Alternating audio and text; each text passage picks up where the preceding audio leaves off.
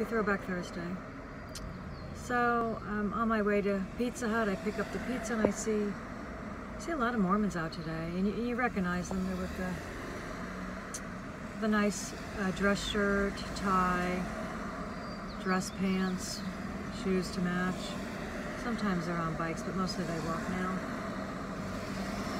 And I've noticed that there were two with one man on the street and then two other Mormon missionaries on the street with another man, and I really wanted to stop and, and ask a few questions, and I would have, except I had to go get the pizza.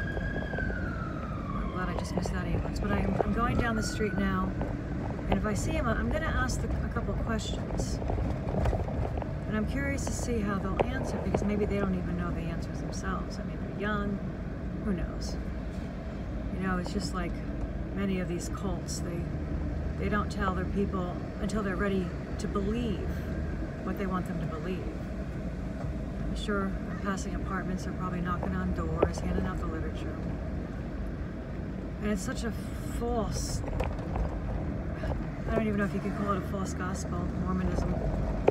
I mean, they give out the King James Bible, they used to, I don't know if they still do. But they really go by their Pearl of Great Price, and I forgot the other book. It's been a while since we really did any study on it. But we were well, well versed in it years ago.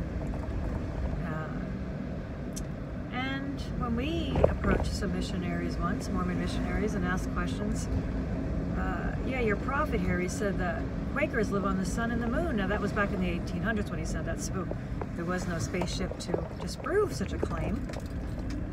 But they also and I had a friend who was Mormon, nice girl, and she told me, she admitted. And I, I and I and I was just like amazed that that they believe this and they teach it. That they're going to be God someday and populate their own planet. I mean, that is the same lie that was told to Eve and Adam, you know, in the garden, basically.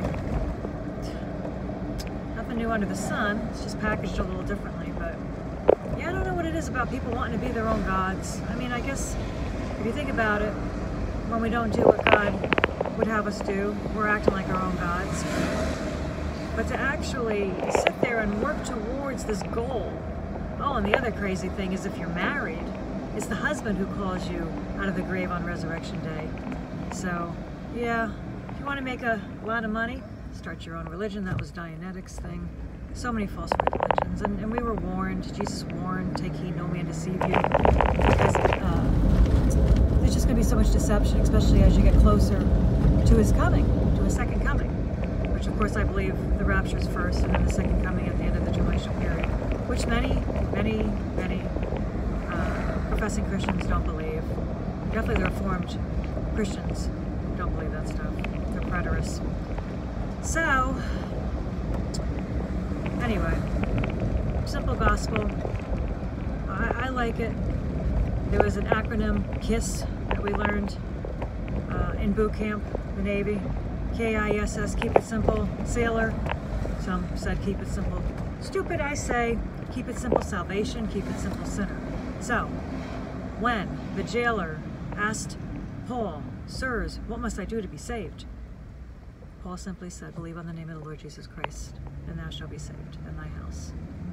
And uh, that was it. He got saved. And his house got saved because they believed on the name of the Lord Jesus Christ. anyway, I hope you all have a good day. And I don't see the Mormon missionaries now, so I missed that golden opportunity. And it would have been nice because I'm sure they gave those folks who were really searching for the truth false answers. It's sad, it's very sad, but that's where we are in these last days.